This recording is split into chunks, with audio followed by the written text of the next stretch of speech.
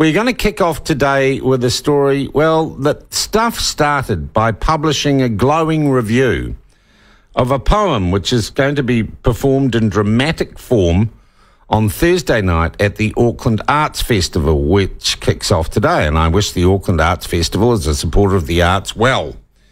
But there is one problem with the Auckland Arts Festival, and that is on Thursday night, uh, a poem uh, is going to be dramatised, amongst other, the work of uh, a woman who has written about the 250th anniversary of James Cook's arrival in New Zealand. Uh, Tusiata Avia has written the poem. She is a member of the Order of Merit of New Zealand, which is quite a high honour. And she has spent almost her entire life being funded by the government through arts grants and various other liberal scholarships and such. The problem with the poem is that by universal review, it is racist and it incites particularly young women of colour or young brown women to cruise the streets in an SUV looking for white men to stick with pig knives and kill. That's basically, I'm taking out all the nice iambic pentameter, but that's basically what this poem says. Now, stuff ran it. We talked about it, and, you know, we had to breach probably some broadcasting standards to play the poem on air. And your reaction and the reaction that then spread to other media has been overwhelming that this is a racist poem. It has prompted more than 60 complaints, I imagine up to 70, maybe 100 by now, to the Human Rights Commission or the Race Relations Commissioner, who is part of the Human Rights Commission. His name is Meng Foon. The Human Rights Commissioner is Paul Hunt. And in response to those 60, 70, maybe now 100 complaints, with this play due to be performed at a government funded arts festival on Thursday night, the response from the Human Rights Commission has been nothing, except to refuse all interviews to us and say that they are considering or having some legal review of the poem. This is from a human uh, rights and a race relations conciliator who is happy to call out what he perceives to be white on black racism or racism against people of colour at the drop of a hat with no legal consideration whatsoever. But Meng Foon is remarkably silent on this, as is Paul Hunt. The other people who've been silent on this, the Culture and Heritage Minister who funds it with your tax dollar, Willow Jean Prime. Stephen Wainwright, who is the Chief Executive of Creative New Zealand, which funnels the money from you to people like Tusiata Avia. Uh, Siobhan, uh, what's her name? Caroline? Siobhan Caroline. She is the story prevention officer, sorry, the media relations officer at the Auckland Arts Festival. And they have nothing to say, though they are busy running around on social media saying, what a wonderful show. It's almost sold out. Buy tickets. So basically, officially, nothing. This piece of racism seems to be going uncommented. One person who is prepared to talk about it is the leader of the New Zealand First Party, Winston Peters, and he joins us uh, by video link now. Uh, Winston, uh, welcome back to the platform. Good morning. Uh, have you read the poem? No, I haven't read the poem. I've read all about it, but I've not read the poem. I don't intend to read that doggerel and that rubbish because that's what it is. And my concern is that the taxpayer has been paying for it. And this comes at the very same time as that terrible death happened in Auckland, where a 14 and 17 year old stabbed a man to death after a minor traffic accident. This is awful stuff at the moment. And it shows that in some ways our country is going mad quickly. Are you saying not... the two events are linked, or we might say one is causative? Well, the fact is, when you're prepared to say that sort of thing, running around with big knives to stab people, as though it's justified on your uh, analysis of history uh, with respect to Captain Cook and his ancestors, who are, don't happen to be us, because many of us are not English in our background. We're Scottish or Maori or something else.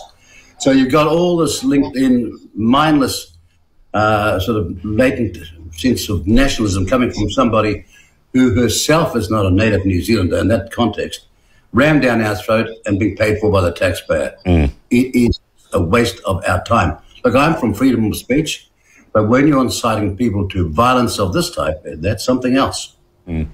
Uh, Winston, that, that's an interesting thing. You raised the issue of freedom of speech because some liberals have tried to hide this poem uh, and the fact that it's been written and is being performed behind freedom of speech. And I guess many people are saying you can write a poem like this, but you can take the responsibility for the fact that it is racist and under our current hate speech laws, less, let alone the nutty ones that, that Labor want to bring in, it would be illegal. And it seems to me it's taken the Human Rights Commission an awful long time to reach a conclusion that most right thinking New Zealanders can come to within 30 seconds.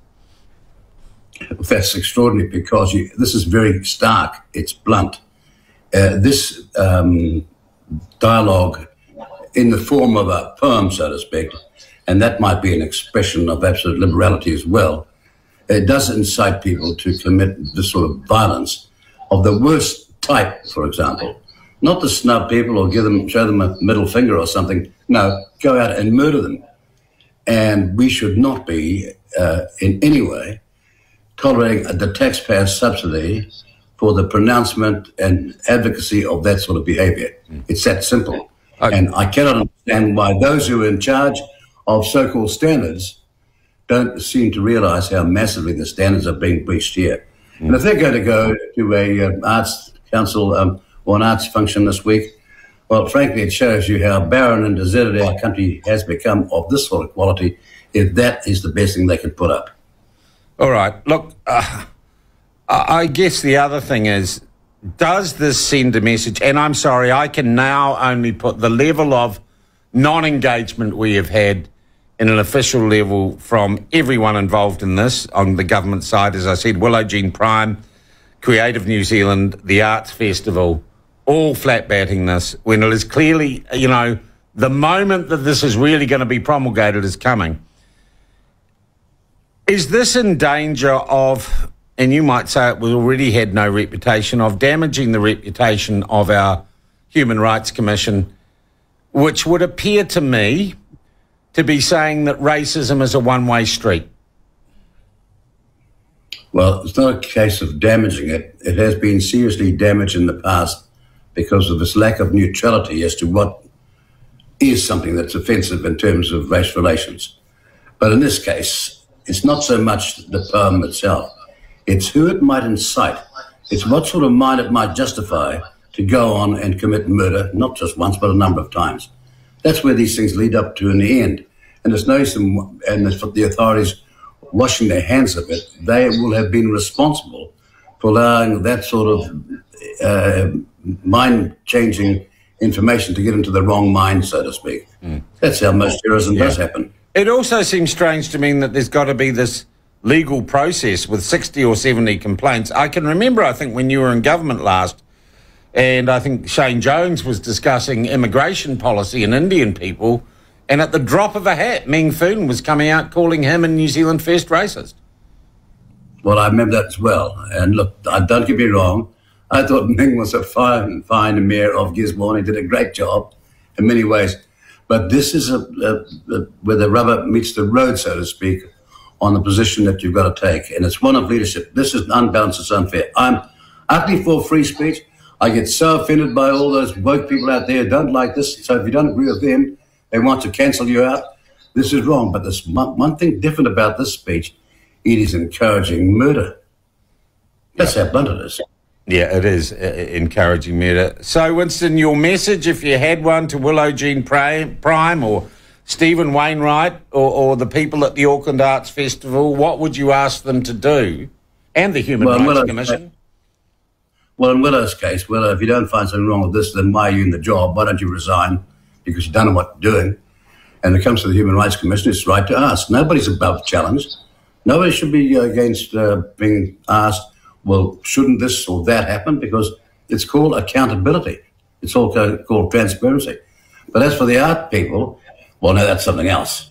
Because in this country, all sorts of things pose as art, and most of it, and much of it, is unadulterated to make it doggerel. Yeah. And while I've got you here, and we're talking about what is art and what's performance or not, what do you think of drag shows in public libraries? Drag queens reading uh, stories to kids.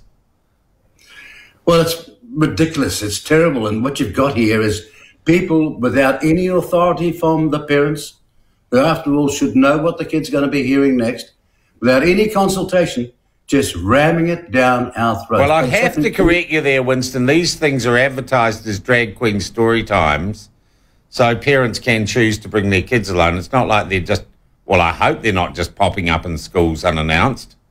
Well, a lot of parents did not know what was happening next. Ah. But that's not. I mean, everything is happening at the moment. And for example, an older lady I know came was in open Hospital the other day and found out the card. So this is a European person has her name and under it Wahine, right? Yeah. This is a language about five percent of the country speak with any proficiency, and ninety-five percent don't. But then at the open Hospital, everything up there is in Maori first. Even terms systems that are about saving lives have it in Maori, the Maori pictures, the Maori imagery. And if you can't follow that, just too bad. Yeah. Now, where is, who is deciding all this stuff and how they're getting away with it? And I have to tell your audience, I'm sure you tell them every day, you've got to get off your backside and do something about it. Yeah. Uh, Winston, one other thing, just looping back to the poem. Ardie Savea facing a SANZAAR judicial hearing for doing that, uh, doing the, the slit throat thing um, in a game on Friday night. He, gentleman that Ardie is, immediately apologised, recognised he'd done wrong. It seems ironic to me. I mean, if he said he was an artist, maybe he would have got away with it, Winston. That and that to me was the double standard when I linked the two together. Well, he is an artist on the football paddock, but Yeah. let me tell you, uh, he's apologised. That's enough. Yeah. Because you remember when that haka has been changed now, but when the latest version of the haka came out a few years ago, that was at the end of the haka. Yeah, yeah, that's right. said, That's too far. Stop it. So, you know, he was around at the time when they actually did that. Yeah. And he just wanted, in, in the, the paddock, on the paddock, at a moment when he's getting sent off the paddock, I might add as well Yeah. because he was. Yeah. Uh, went too far. He apologised. And sometimes when you apologise, that's enough. It's a bit like Rob Campbell. He did apologise, you know. But apparently apologies these days aren't worth anything. Yeah. Um, should Tusiata Avia apologise for her poem? And should um, Willow Jean Steve Wainwright, and the Auckland Arts Festival apologise for paying for it? Look, the real problem is that we are giving it the oxygen of respectability by discussing it that it does not deserve. This is rubbish. Their performance is rubbish. The whole lot's a waste of everybody's time. But, uh, you know, we're calling it out, and fair enough. Yeah. Winston, I thank you very much indeed for your time this morning. I'm sure that will add, well, fuel to the debate, the necessary debate we're having on uh, this Captain Cook poem. Win- Winston Peters there, the leader of uh, New Zealand First.